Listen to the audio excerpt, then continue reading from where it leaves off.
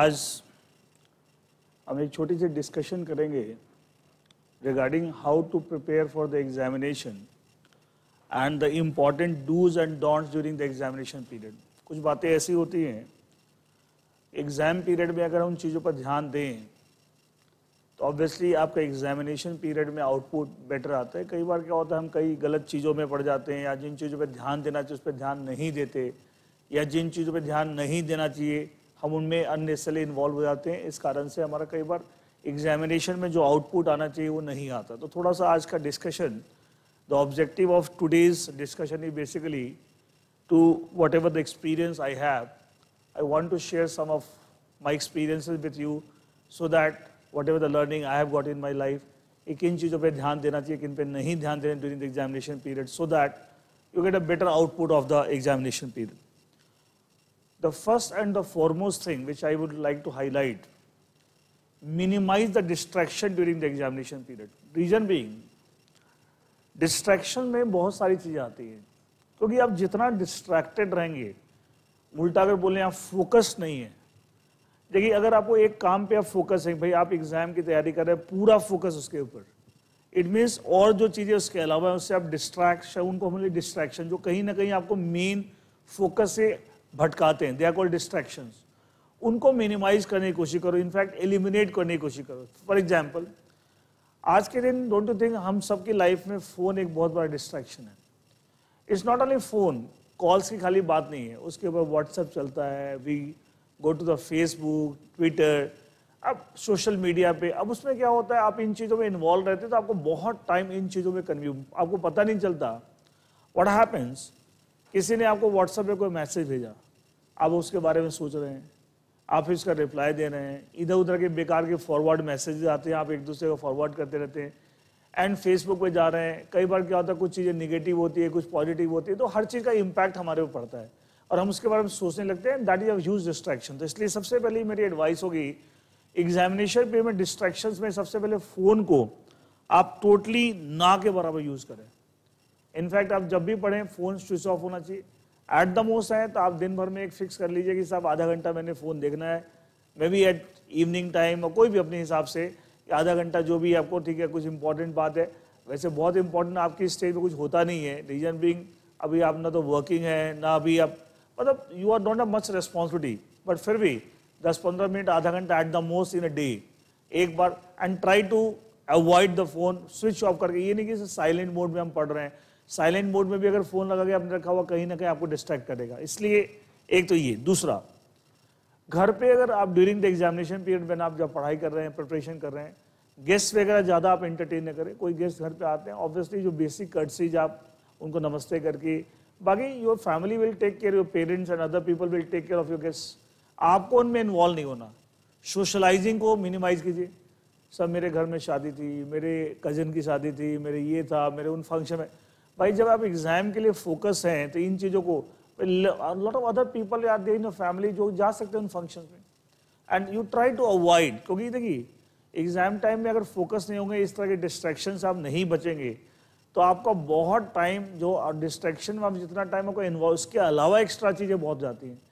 आप ये नहीं, जैसे आप एक मैरिज फ़ंक्शन में जा रहे हैं तो हर आदमी जो मैरिज फ़ंक्शन में जाता है, कुछ ना कुछ तैयारी है, सब शॉपिंग कर ले, ये कर ले फिर मैरिज का फ़ंक्शन अटेंड कर गया उसका हैंग ओवर कुछ चीज़ें हम वो डिस्कस करते रहते, बहुत सारी बातें कई बार हमने ज़्यादा बाहर का खाना कुछ ज़्यादा आराम शराब खा लिया, मैं भी तबीयत बिगड़ गई। तो better to avoid try to focus on our main thing avoid all kind of distraction like socializing entertaining too much of guest at home specially the phone I will definitely highlight that कि phone पे ज़रूर ध्यान दें कि phone को ना के बराबर यूज़ करें during the examination all this social media and all that try to avoid that next the important thing I would like to highlight.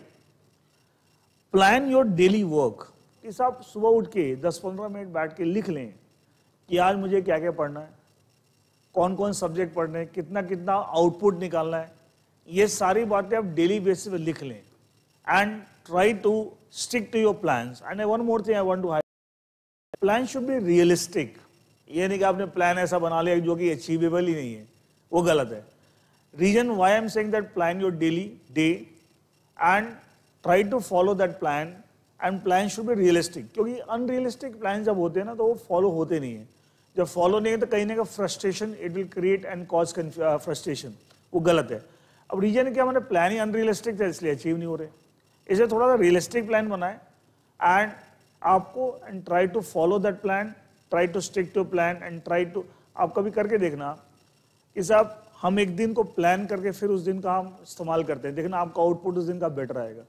But unplanned तरीके से अगर पढ़ाई करें कोई भी काम करें देखना output will always be less output always be not so good and that's why it's very important that we should plan next is third third point which I really have to highlight is consolidation consolidation का मतलब क्या है? कि साहब, आपका जितना भी examination material है, आपको जो जो पढ़ना है या जो जो आपने पढ़ा है, उस सबको एक जगह इकट्ठा कर लीजिए।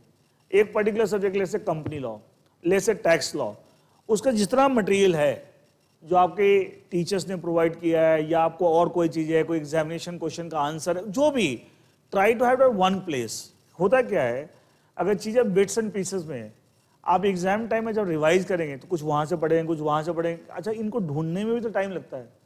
तो वाई नॉट यू कंज एक पूरा फोल्डर बना लें, या एक पूरा प्रॉपर एक फ़ाइल टाइप की चीज़ बना लें एंड जिसके अंदर सारा मटेरियल एक जगह, एक सब्जेक्ट का ऊपर सब्जेक्ट का नाम लिखे, सब कुछ वहाँ पे। सो so दैट इसको उठाया, पढ़ना, और कुछ दिमाग नहीं लगाना। That's a consultation of all your material at one place and don't try to study in bits and piece कुछ वहाँ से, कुछ वहाँ से, कुछ वहाँ से। उससे भी प्रॉब्लम रहती है। कई बार कहता है, आपने कई जगह से कुछ चीज़ें भूल ही गए। आपको वहाँ से पढ़ना था, पढ़े नहीं। लेकिन जब सारी चीज़ एक जगह इकट्ठी कंसोलिडेटेड है, आप मिस नहीं करेंगे। आप मिस और दूसरा टाइम भी वेस्ट नहीं हुआ। नहीं तो इधर उधर चीज़ें ढूँढने में बहुत टाइम लगता है। And that is also very important next is that is the examination की प्रिपरेशन जो आपकी वो बहुत अच्छी लेवल की होनी चाहिए। एक छोटा सा मैं एग्ज़ाम्पल देकर समझाता हूँ and you will get really appreciate that मान एक सब्जेक्ट है। अराउंड 300 पेजेस का मटेरियल है। इतना मटेरियल हो जाता है कि उस सब्जेक्ट को अगर ढंग से आप तैयार करो तो।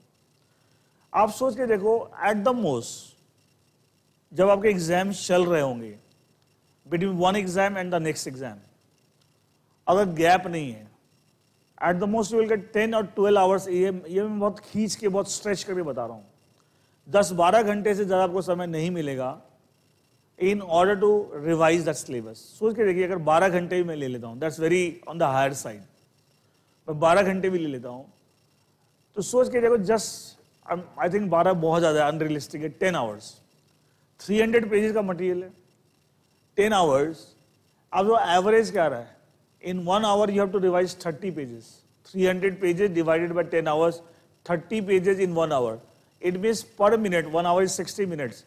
Per minute, आपको एक पेज रिवाइज करना है। Because 30 pages in 60 minutes 31 hour it means per page will get only two minutes just think दो मिनट के अंदर, आप एक पेज को बिना समझे आप रीड आउट भी नहीं कर सकते। I can assure I can guarantee you that even you go for plain reading without understanding what E mention there straight away बस आप धड़ाधड़ रीड आउट कर रहे हैं। आप दो मिनट में एक पेज को रीड आउट भी नहीं कर सकते। सोचिए, और आपको तो रिवाइज करना है।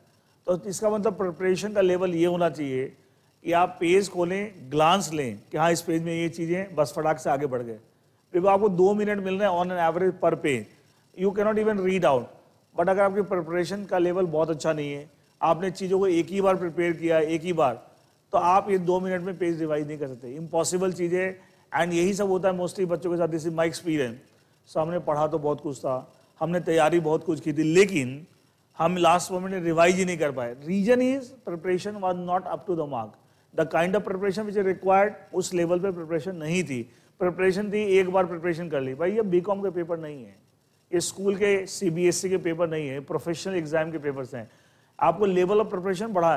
मतलब एक, सोच के देखिए आप, आपने एक सब्जेक्ट को एक बार पढ़ा। फिर आप अगली बार रिवाइज करेंगे। तो क्या उतना, वही सेम काम करने में टाइम पहली बार जितना लगा था उतना नहीं लगेगा। फिर तीसरी बार रिवाइज करेंगे तो और कम हो जाएगा। चौथी बार रिवाइज, और कम। ऐसे करके धीरे धीरे टाइम को रिड्यूस करना है doing the same thing but if you try to convert की साहब मैं एक सब्जेक्ट को ऑन एन एवरेज मैंने एक महीने में प्रिपेयर किया। भाई अगर हम चार सब्जेक्ट एक मॉड्यूल को तैयार करते हैं रफली चार महीने तो हम लगाते हैं, कम से कम। तो एक पेपर ऑन एन एवरेज एक महीना। How can you really expect that one month gets converted into ten hours in straight away हाँ पहले आप एक महीने की प्रिपरेशन जो आपने किया ऑन एवरेज उसका आपने एक एक वीक में एक सब्जेक्ट रिवाइज किया है। तो वहाँ you are converting one month one subject into one week then three days में रिवीजन किया है। फिर आपने लेट से ट्वेंटी आवर्स में किया है। फिर आप टेन आवर्स में ला सकते हैं। That is that's why am saying that glance देखते ही रिवाइज होना चाहिए। लेकिन उसके लिए that's important the very important thing is that आपकी प्रिपरेशन का लेवल मतलब उसके लिए मल्टीपल टाइम्स आपकी चीज़ रिवाइज हुई हो। तब जाके आप स्टेज पाएँगे that the moment you take a glance on the page in two minutes you are able to recap कि इसके अंदर क्या क्या लिखा हुआ है। And that that kind of preparation required otherwise what will happen आप रिवाइज नहीं कर पाए एग्ज़ाम में। रिवाइज नहीं करने की वजह से बहुत सारी चीज़ों में कॉन्फिडेंस लूज हो जाएगा। आपने पहले पढ़ा है, इस साल रिवाइज नहीं किया। एक मन में एक साइकोलॉजिकली ये चीज़ में रिवाइज नहीं कर पाया। तो एग्ज़ाम में अगर उस पर क्वेश्चन आता है तो आप उतने अच्छे से अटेम्प्ट नहीं कर पाते। क्योंकि that confidence level has gone down because you are not able to revise during the examination time that's why very important preparation का लेवल अच्छा होना चाहिए एंड मल्टीपल टाइम्स पढ़ के तब जाके and that's very important next कई के बच्चे क्या गलती करते हैं? मैंने सुना है। यार, चार दिन के पेपर हैं। तीन चार दिन नहीं सोएँगे तो क्या होगा? बाद में सो लेंगे। ये गलती एकदम नहीं करनी है। ड्यूरिंग द एग्जामिनेशन टाइम भी आपको you have to take sleep वो अलग बात है कि आप स्लीप कम, ज़्यादा हो, एक अलग बात है। एक कहावत है देखिए ऑब्वियसली हम नॉर्मली अगर सात घंटे सोते हैं या आठ घंटे सोते हैं तो हम एग्जामिनेशन टाइम में थोड़ा कट डाउन कर सकते हैं we can make it five hours और six hours something like that लेकिन not to sleep at all ये एकदम एडवाइजेबल नहीं है। रीजन बींग कि आप एकदम नहीं सोएँगे तो आपका ब्रेन जो नॉर्मली जैसा फ़ंक्शन करता, वैसा नहीं करता। Your body your brain it will not respond the way it normally responds तो एज ए रिज़ल्ट क्या होगा एग्ज़ाम में कई चीज़ें आप ऐसी गलती करके आएँगे जो आपने सोची भी कि आप ऐसी गलतियाँ करके आए। कुछ कैलकुलेशन मिस्टेक्स हैं, उल्टे सीधे सेक्शन नंबर लिख दिए। अदरवाइज़ सही लिखते हैं because your brain was not functioning normally because आपने पूरी रात रेस्ट नहीं लिया। इसे थोड़ा कम कर सकते हैं क्योंकि थोड़ा बहुत चलता है एग्ज़ाम में मैं आठ घंटे की जगह मैं पाँच घंटे या छः घंटे सो रहा हूँ, चलेगा।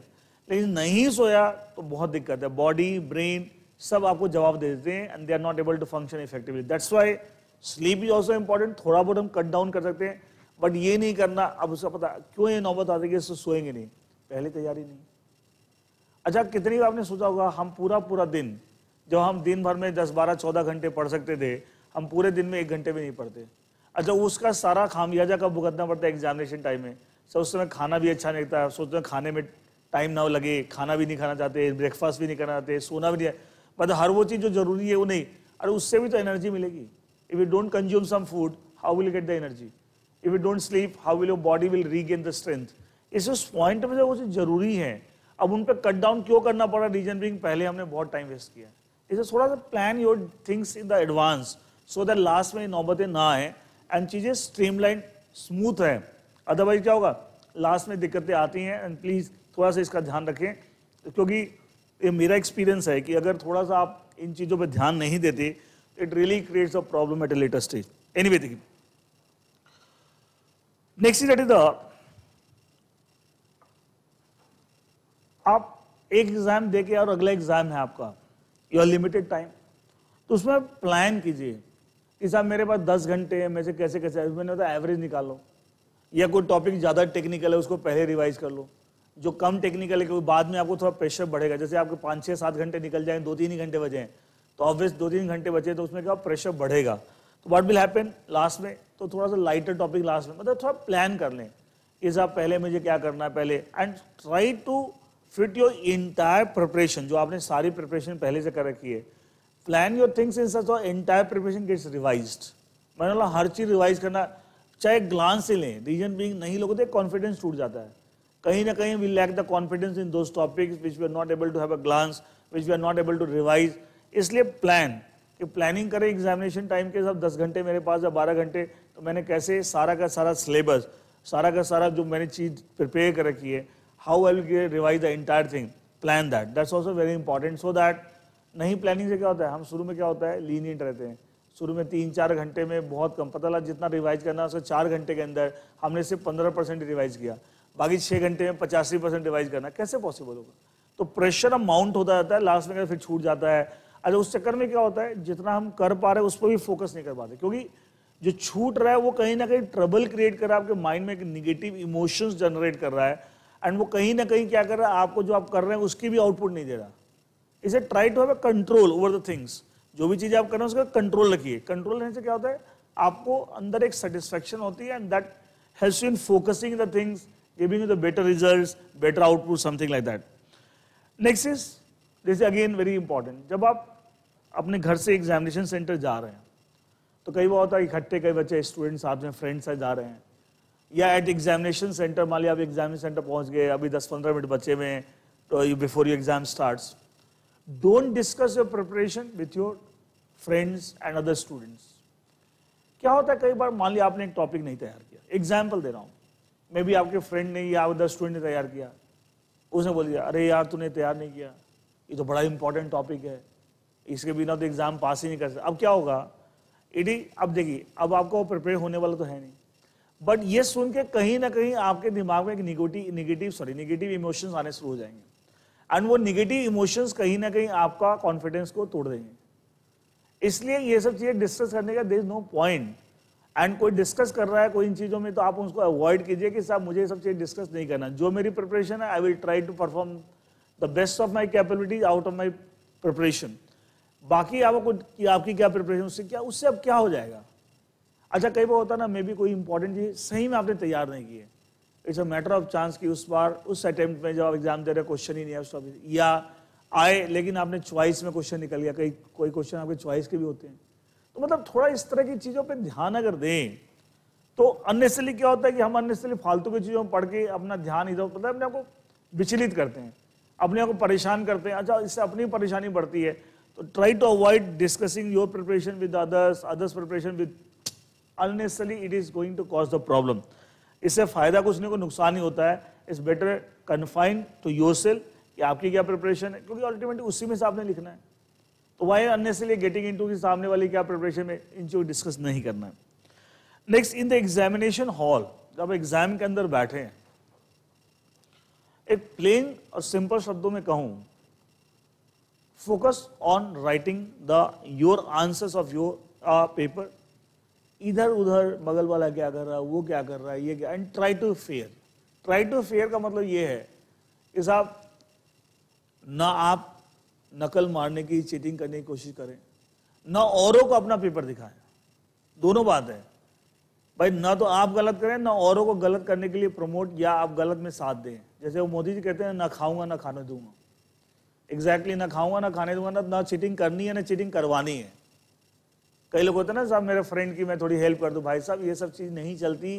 अच्छा सोच के देखो अगर एग्जामिनेशन इन्विजिलेटर ने ये करते हुए आपको पकड़ लिया चाहे आप दूसरों को चीटिंग करा देते हैं क्या आपको भी एग्जामिनेशन हॉल सस्पेंड कर सकता है? तो सोच के देखिए क्यों ऐसा वाई टू पहली बात तो अनफेयर चीज़ें हैं।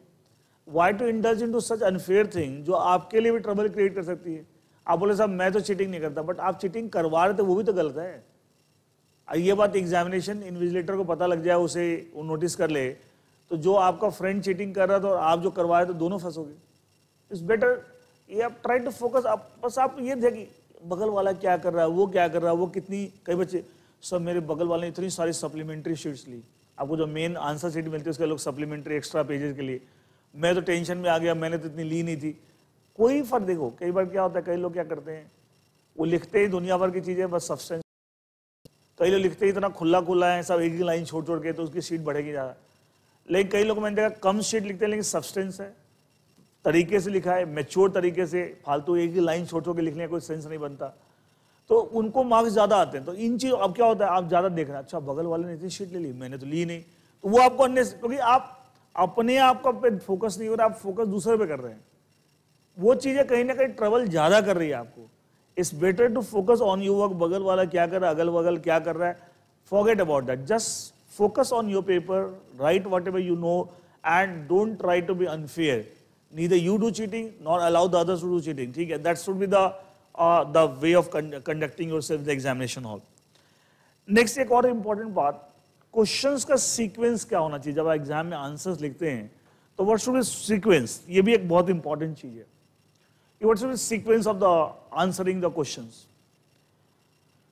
The idea is in one line, it should be from best to worst. Best to worst means what? So जो क्वेश्चन आपको बेस्ट आता है out of all the question we are suppose to attempt you find out जो best आता है वहाँ start कीजिए अच्छा अगर क्वेश्चन जो पेपर का जो लास्ट क्वेश्चन है अगर आपको वही बेस्ट आता है वहीं स्टार्ट कीजिए कोई दिक्कत नहीं उसका मैं रीजन बताता हूँ it should best to worst जो सबसे अच्छा आता है सबसे पहले फिर उससे थोड़ा कम आता है वो उसके बाद, फिर उससे कम आता है उसके बाद लास्ट में वर्स्ट आना चाहिए। That should be the way of the writing मैं इसके पीछे रीजन बताता हूँ। क्या होता है, मान लिया बंदे ने आपकी कॉपी चेक की, जो भी कॉपी चेकर होगा, आपका पहला क्वेश्चन बहुत अच्छा आंसर लिखा अगला भी काफ़ी अच्छा है। तो क्या एक दो क्वेश्चन चेक करने के बाद if you really and been attempted very nicely तो कॉपी चेकर के दिमाग में एक इंप्रेशन क्रिएट होता है that student is a good student ही और she is a good student clear अब as a result psychological advantage ये होता है कि सर आगे के क्वेश्चन जो है question number three four they are not so well attempted as question number unlike the question number one and two but उसमें भी कहीं ना कहीं वो आपको मार्क्स थोड़े से ज़्यादा देता है जितने आप डिजर्व करते हैं उस क्वेश्चन में. एक साइकोलॉजिकली होता है. तो आप साइकोलॉजिकली अपने फेवर में एडवांटेज ले सकते हैं बाय तो हमेशा बेस्ट टू वर्स्ट चलना है. लेकिन मान उल्टा कर दिया आपने। अच्छा कई बच्चों को पता नहीं क्या परेशानी होती है?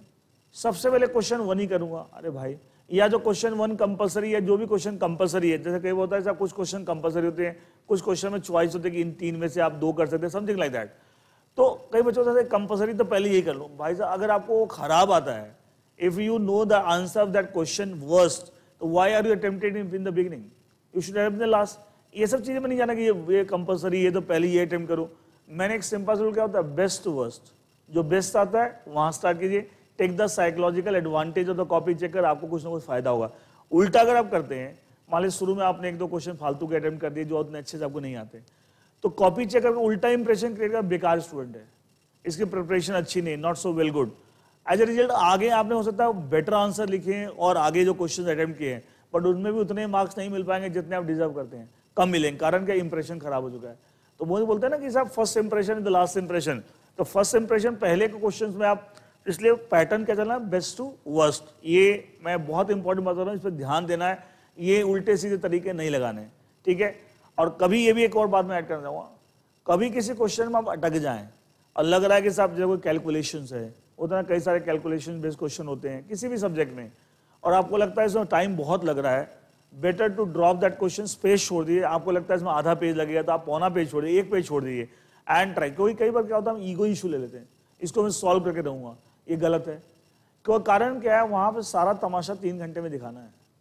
अगर तीन घंटे में आपने अपनी ईगो के चक्कर में कई सारा टाइम वेस्ट कर दिया तो हो सकता है और कोई क्वेश्चन जो आपको और अच्छे से आते हैं, उसके लिए टाइम ही नहीं बचा।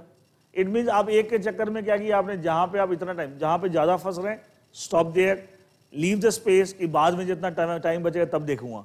And try to attempt those questions which you know well and don't try to waste time at one place too much of time. If you're getting stuck at somewhere in some calculation, something, leave the space for that in the copy and move forward to the next question. नहीं तो वहीं अटकर रहोगे तो बड़ी दिक्कत हो जाएगी। कई बार ऐसा देखा गया है कि कई इतना टाइम वेस्ट कर देते बाद में अदर क्वेश्चंस के लिए जो आप जानते भी हैं, उसके लिए टाइम ही नहीं बचता। तो वो नहीं करना है, ठीक है। Next is that is the pen के बारे में एक बात है सब use only blue and black pen इधर ब्लू और ब्लैक वैसे तो blue is better but blue और कोई इंस्टीट्यूट अलाउज दैट ब्लू और ब्लैक के अलावा आप कोई कोई भी कलर का पेन यूज़ नहीं करेंगे. And should be good pen ये नहीं कि साहब इंक लीक हो रही है. गुड पेन अच्छे तीन चार और ऑप्शन तीन चार पेन लेके जाइए। ठीक है? गुड कंडीशन में हो। इन सब चीज़ों पे ध्यान कोई कई बार क्या होता है, आपका पेन ही अच्छा नहीं है। वहाँ लीक कर गया, वहाँ इंक निकल रही है। मतलब बहुत सारे इश्यूज़ हैं। या आपने कोई ऐसा जेल पेन यूज़ करा है जो जेल पेन इतना ज़्यादा आपको इंक पेपर के आर पार दिख रहा है? तो वो सब थोड़ा सा पहले से सबसे ध्यान देना है। एंड तीन चार पाँच पेन लेके जाइए, वहाँ पे साहब कोई दिक्कत है तो मेरे पास the other option the alternative and use only blue and black ये नहीं कि साहब रेड कलर ग्रीन कलर ये अलाउड नहीं institute does not allow that इसका भी आपको ध्यान रखना है। एक और चीज़, आप जब कोई भी क्वेश्चन लिख रहे हैं, का आंसर लिख रहे हैं अगर किसी चीज़ को आप हाईलाइट करना चाहते हो, होता ना सब केस लॉ का नाम है सेक्शन का नाम है तो कई बच्चे पता क्या तो पूरा आंसर लिख देंगे। फिर उसको फिर पढ़ेंगे और जहाँ जब उसको हाईलाइट करना, फिर हाईलाइट करते स्केल लगा के नॉलेज बेटा, ये प्रोफेशनल एग्ज़ाम के एग्ज़ाम कोर्स के एग्ज़ाम है। These are the exams relating professional courses यहाँ डिज़ाइनिंग के, चित्रकारी का नंबर नहीं है कंटेंट का नंबर है। ये को हम स्कूल में ड्राइंग का पेपर नहीं अटेम्प्ट कर रहे हैं।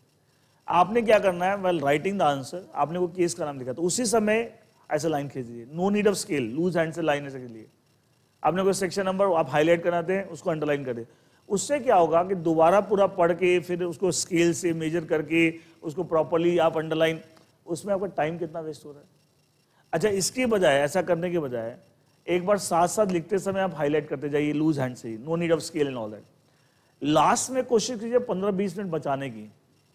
जिसमें कि आप एक बार पूरे पेपर को रिवाइज करें कई बार क्या होता है अनइंटेंशनली या कई बार बाय मिस्टेक ऐसी कुछ गलतियाँ हम लिख देते कोई फिगर गलत लिख देते कोई सेक्शन नंबर गलत लिख दिया या कुछ और चीज़ें कोई कैलकुलेशन गलत कर दी तो लास्ट के पंद्रह बीस मिनट रखिए एक spare so that you can revise the entire answers all the answer which are written and if some mistakes there, you can correct it. You can correct it. That's the idea. And उस point of view से rather than हर question को बार बार पढ़ के बार बार ऐसे underline इससे better ये तरीका है and that is one so one point next is that is the एक गलती मैंने और देखी है, कई बच्चे क्या करते हैं, जब बच्चे आरटीआई के थ्रू कॉपी वगैरह निकलवा के लाते हैं, हमें दिखाते हैं। मान लिया क्वेश्चन के चार पार्ट है या पाँच पार्ट है whatever attempt all the parts of one question at one place नहीं, ये नहीं करना कि साहब एक क्वेश्चन का एक पार्ट यहाँ है, एक क्वेश्चन का दूसरा पार्ट आपको तीन क्वेश्चन सॉल्व करने के बाद है। Never do that try to attempt all the parts of a particular question at a particular place at all the parts at one place और कभी ऐसा हो, मान लिया आप क्वेश्चन नंबर टू अटेम्प्ट कर रहे हैं। क्वेश्चन नंबर टू के चार पार्ट्स है, मान लिया। तीन पार्ट्स आपके आते हैं, एक पार्ट नहीं आता। तो उस पार्ट के लिए आप स्पेस वहाँ लिख के स्पेस छोड़ दीजिए कि बाद में अटेम्प्ट करूँगा। लेकिन ये नहीं कि उसका एक पार्ट आप बाद में कहीं अटेम्प्ट करें आप वहीं पे नंबरिंग करके answer to question number two part one two जो भी आपको नहीं आता, वो डाल दिया। एंड स्पेस छोड़ दिया। स्पेस थोड़ा सा ज़्यादा छोड़ दिया आपको लगता है एक पेज में आंसर आना चाहिए। आप सवा पेज डेढ़ पेज छोड़ दिए, क्या दिक्कत है? स्पेस बच जाएगा, उसको क्रॉस आउट कर देंगे लास्ट में। And try to attempt all the parts of a particular question at one place उसका रीजन बताता हूँ। आपने अपनी कॉपी पे देखा होगा, ऊपर सारे सब question wise question number one two three total marks कितने आपने स्कोर किए, वो कॉपी चेकर को उस पर एंटर करना होता है। उसे मेंशन करना होता है on the front page of the copy अच्छा वो क्या करेगा? मान लिया आपने क्वेश्चन के चार पार्ट तीन अटेम्प्ट किए, एक आपने बाद में कहीं जाके अटेम्प्ट किया है। वो तीन का टोटल करेगा और वो ये मान लेगा कि आपने एक पार्ट किया ही नहीं अटैम्प्ट उसका टोटल मिला के आपको कॉपी के फ्रंट पेज में चढ़ा देगा। अच्छा एक पार्ट आपने जो बाद में अटैम्प्ट किया है अच्छा बाद में देखेगा, अगर उस पर नंबर देता है तो क्या फ्रंट पे उसको टोटल चेंज करना पड़ेगा? तो हो सकता है कई बार अपना इंप्रेशन खराब ना करने के लिए वो क्या करते हैं, उसको ज़ीरो कर देंगे जो बाद में आपने अलग से पार्ट अटैम्प्ट किया है। तो आप अननेसरली अपना नुकसान कर ऐसा करके तो try to attempt all the parts of a particular question at one place उसको स्कैटर्ड तरीके से नहीं करना। देखो क्या होता है कॉपी में जितना आप ऑर्गेनाइज तरीके चीज़ों को प्रेजेंट करोगे उसका ये बड़ा इम्पैक्ट पड़ता है। कई बच्चे इन चीज़ों को नहीं समझते या इनकी इंपॉर्टेंस नहीं समझते इन चीज़ों पर भी ध्यान देना है। More you organise in writing the things uh, but presenting the subject presenting the answer more you will get देखो नॉलेज के अलावा और भी बहुत सारी चीज़ होती है जिस पर ध्यान दिया जाए तो obviously it can improve your output next जैसे मान लिया आपका एक एग्ज़ाम हो गया। अगला एग्ज़ाम कल है। तो या घर आते ही सबसे पहले थोड़ा फ्रेश हो जाइए try to have your meal and जो भी आपका खाना बना, उसका थोड़ा सा रेस्ट लीजिए। आधा घंटा आपने रेस्ट ले लिया। एंड उसके बाद now start preparing for the next paper बीच में कोई भी आप ज़्यादा उसके अंदर बैठ के, कोई पेपर के अंदर मैं जो अटेम्प्ट कर रहा है उसमें कितने नंबर आएँगे वो हो ये मैंने गलती कर दी that was my blunder whatever in analysis करने की होती है। अच्छा कुछ बच्चे तो अपने लेवल पर एनालिसिस करते हैं। कुछ क्या डिस्कशन करते हैं फ़ोन पे फ्रेंड से। तूने क्या किया? मैंने क्या किया? अच्छा आपने हो सकता आंसर ठीक लिखा है। आपको फ्रेंड नहीं, इसका आंसर ये होगा। आप कंफ्यूज हो गए। आप आप आप डिप्रेस हो गए। यार, ये तो मेरा तो गलत हो गया। हो सकता आपका सही हो। Don't do this kind of analysis neither at your level not discussion with your friends during the examination period कि साहब एक एग्ज़ाम देखो, जो हो गया, सो हो गया। गलत या सही, वो तो बाद में पता लगेगा। लेकिन क्वेश्चन आप उसको बदल सकता है क्या? उसके बारे में ज़्यादा सोच के, ज़्यादा एनालिसिस करके, दूसरों के साथ डिस्कशन करने से क्या वो चीज़ें बदल जाएँगी? नहीं। तो why are investing your time in those thing try to focus on the next paper तो जो आपका टाइम है, उसको ज़्यादा से ज़्यादा टाइम आप अगले पेपर क्यों देखिए? एक कहावत है ना no one can change the past we can only focus on the present and the future past को बोलते हैं ना, भगवान भी किसी को आशीर्वाद देते हैं, वरदान देते हैं, बोलते ना, कि भविष्य में बोलते हैं। पास को नहीं बदलते हो पास कोई नहीं बदलता even God can change the past तो हम पास के पीछे पड़े हुए हैं। साहब ये हो गया। आपको फोकस करते इसलिए ध्यान रखना, इन चीज़ों ये भी एक इंपॉर्टेंट आस्पेक्ट है। नेक्स्ट कई बार ऐसा होता है, और मैंने ऐसे केसेस देखे हैं। एक बच्चे ने एक पेपर दिया। मान एक मॉड्यूल में चार पेपर हैं, एक पेपर दिया, दूसरा दिया। मान सेकेंड पेपर थोड़ा सा खराब हो गया उसका। वो लोग क्या करते हैं एग्ज़ाम में ड्रॉप कर देते हैं। थर्ड और फोर्थ पेपर के लिए एग्ज़ाम देने ही नहीं गए। यार, मेरा इतना खराब हो गया, इसमें तो मेरे, मैं पक्का फेल होऊँगा, मेरे 25 नंबर ज़्यादा नहीं आएँगे तो क्या फ़ायदा आगे एग्ज़ाम देने से? एंड वो आगे एग्ज़ाम ही नहीं देते। ऐसी गलती एकदम नहीं करनी है नॉट एट ऑल एक बार एग्ज़ाम शुरू हो गए, जितने पेपर आपने प्लान किए थे, एक मॉड्यूल देना है, चार पेपर दो मॉड्यूल देना, सात पेपर एग्जीक्यूटिव में, जो भी आपके मतलब। वो आपको पूरा करने के बाद ही आपने आपको बीच में कोई डिसाइड डिसीज़न नहीं लेना। And not don't come to any conclusion कि ये मैं एक एक्चुअल एग्ज़ाम्पल बताता हूँ जो मैंने खुद एक्सपीरियंस किया था। बहुत पहले की बात है around twelve thirteen years back one of a student she was appearing in the examination जैसे आप लोग अभी दिसंबर एग्ज़ाम होंगे। एंड मैं कहीं से आ रहा था बैच खत्म हो चुके थे एग्ज़ाम ऑब्वियसली तो क्या हुआ कि ऑन द वे उस एग्जामिनेशन सेंटर भी आता था। और चांस क्या था, जब मैं आ रहा था तो एग्ज़ाम खत्म ही हुए थे। इवनिंग का टाइम था आई थिंक दो से पाँच का स्लॉट था। And that student was also standing outside she was waiting for some conveyance तो मैं जा रहा था तो मैंने बोला मेरे साथ तो मैं ड्रॉप कर दूँ। उसका भी शायद उधर ही घर था, जिधर मेरे को जाना था। एंड शी वॉज़ सेइंग कि, सर, मेरा ये पेपर आज का बहुत ख़राब हो गया, मैं तो अब कल पेपर देने नहीं आऊँगी। तो चांस की बात है, क्योंकि वो मेरे साथ थी तो मैंने उसको ड्रॉप करना था। ऑन द वे ही मेरा भी उधर ही घर था। तो मैंने उसको बोला कि मैंने बस ऑन द जितने टाइम मेरे साथ थी तो मैंने उसको ये बोला कि आप किसी भी हालत में पेपर ड्रॉप नहीं करोगे, क्योंकि हमारा एक्सपीरियंस हमें पता है कि क्या होता है। और आप कल पेपर देने ज़रूर आओगे। उसने मेरी बात मानी। She appeared for the next paper जो भी रिमेनिंग पेपर थे। रिज़ल्ट आया। And she qualified that exam and it's was a matter of chance के साथ वो लास्ट एग्ज़ाम था फाइनल का, उसके पहले सारे एग्ज़ाम से क्लियर थे। And she qualified as A C S वो मेरे पास सर आई, मिठाई का डब्बा लेके सर आप ना बिकम सी एस एंड आपने उस दिन नहीं मिले होते तो मैं तो एग्ज़ाम छोड़ने वाली थी। कितनी बड़ी कितनी बड़ी गलती रह जाती, कितनी बड़ी अब सोच के देखो, मान लिया, वो आगे एग्ज़ाम नहीं देती। और जिस एग्ज़ाम की वजह से बोले तो बहुत खराब हो गया। रिज़ल्ट तो मार्क्स तो उसके भी आते जितने पेपर आपने दिए। और उसमें आप पास हो गए होते फोर्टी एंड अब आगे होते, कितना अफसोस होता। एक्चुअली क्या है आई सी एस आई के बाद बहुत सारी चीज़ें आप शायद नहीं जानते, एक कंसेप्ट होता है मॉडरेशन मॉडरेशन में आई सी एस आई नंबर बढ़ा भी सकता है और घटा भी सकता है, सबके। अच्छा कभी कभी वो पेपर बहुत ईजी आ जाता है। तो आईसीएस को लगता है कि साहब मैक्सिमम बच्चों ने बहुत अच्छा स्कोर किया है तो सबके है ना पाँच पाँच नंबर घटा दो। तो सबके दैट इज़ मॉडरेशन कोई पेपर बहुत डिफ़िकल्ट आया है, और इस पेपर की वजह से मोस्टली बच्चे मॉड्यूल में फेल हो रहे हैं। एंड बहुत कम बच्चे पास हो पा रहे हैं। तो इंश्योर में से कि सबके पाँच पाँच, सात सात नंबर जो भी है, दस दस नंबर बढ़ा दो। तो ऐसे भी जी, अब कई बार आप सोचते हैं, मेरी परफॉर्मेंस इतनी खराब है, पास ही नहीं हो लेकिन हो सकता पेपर इतना डिफ़िकल्ट था, मोस्टली खराब है मोडरेशन आप पास हो जाए। इसलिए आपको बहुत सारी चीज़ें हैं। कई बार ऐसा होता है कि साहब, हो सकता है आप पास नहीं हो मॉड्यूल में, लेकिन एग्जामेशन मिल जाए, एक पेपर में, दो पेपर में, और आप दोगे नहीं तो एग्जामेशन भी नहीं मिलेगी। इस तरीके से बहुत सारी चीज़ें हैं, बहुत सारी चीज़ें हैं, इसलिए बीच में ड्रॉप नहीं करना है। डोंट बी डिसाइसिव की साहब, बस अभी, बस खत्म होगी बात। नो ऐसा कभी नहीं करना। तो ये मेरे को मतलब मैं अपने एक्सपीरियंस से कुछ चीज़ें मैं शेयर बच्चों के साथ कि साहब, ये सब चीज़ों पे थोड़ा सा हम ध्यान दें। तो शायद छोटी छोटी जो चीज़ें हमारे आउटपुट को ख़राब करती है डिस्ट्रैक्ट करती है, हमारे प्रिपरेशन में किसी तरह की ऑब्स्टिकल्स क्रिएट करती है तो हम मैं थोड़ा सा इन चीज़ों पे शेयर करना चाहता था। That was the purpose of my today's what be the lecture and I hope आप लोग इसको फॉलो करेंगे, इससे आपको फ़ायदा मिलेगा। दिस इज़ माई बिलीफ कि आपको इससे डेफिनेटिव एडवांटेज मिलेगा। आप इसको फॉलो करके देखिए, जितनी चीज़ें मैंने बताई इस आप just try to follow all this thing and will definitely and get benefited out of that and last में जब सब कुछ हो जाए एग्ज़ाम खत्म होने के बाद जितनी एनालिसिस करनी सारे पेपर खत्म हो गए। उसे जितनी एनालिसिस करनी है, जितनी डिस्कस करनी करते रहिए, ठीक है? And now wait for the result and ठीक है होप बोलते ना अपना बेस्ट देना है एंड अपना बेस्ट देना है और बेस्ट देने के लिए प्रिपरेशन के साथ कुछ छोटी छोटी बातों का ध्यान जो मैंने आज डिस्कस किया and I hope all this thing really will benefit you ठीक है? And with this wish you all the best for your forthcoming exam hope you all come out with the flying colours thank you every